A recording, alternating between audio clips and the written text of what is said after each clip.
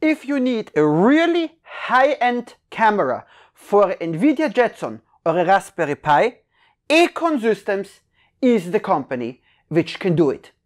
And their cameras are really, really innovative, also from the way they are physically constructed. And in this video, I will take a look at the hardware and shortly there will be a follow video showing how to use the thing on a software point of view.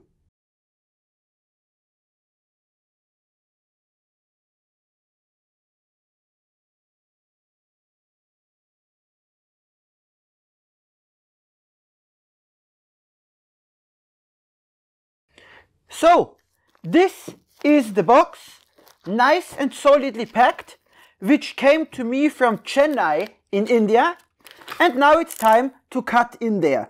You see, they did a very good job packaging it, so I am quite happy. Even though, of course, unpacking it is a bit more work.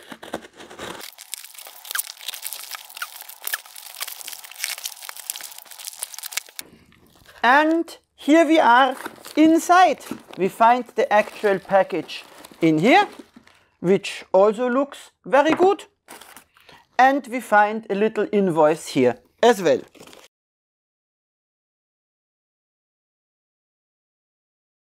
And this is such a magnetic box, like what we know from GigaDevice. Here we get this, what I like a lot, which makes it easier to get started.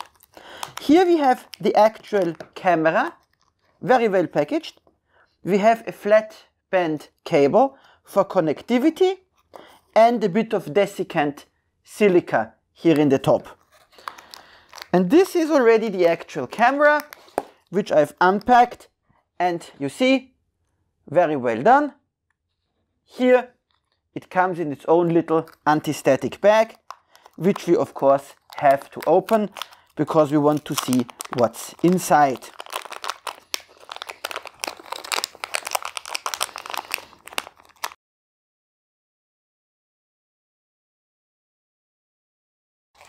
And this is the actual camera.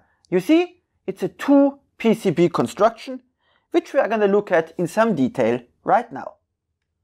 What you need to understand is that e-con systems are actually not only in the turnkey camera business, but they actually also design custom cameras. And to make their work easier, they use a modular approach. Here on top, we've got the lens, then we've got the actual camera sensor, which you see sits here on the first level acquisition PCB. And then below, we've got the second level as in interface PCB. And these spaces, they are metal. This is in general quite a nice design. And given that this camera is intended for the Raspberry Pi platform, of course, here we have the usual FPC connector where the wire plugs in the FPC, which then connects the camera to the Raspberry Pi. And incidentally, we see here another screw. So I am not sure, but I think it is entirely possible that this module might not be soldered, but actually is a press fit only. And of course, this construction you can also use it for a wide variety of other applications.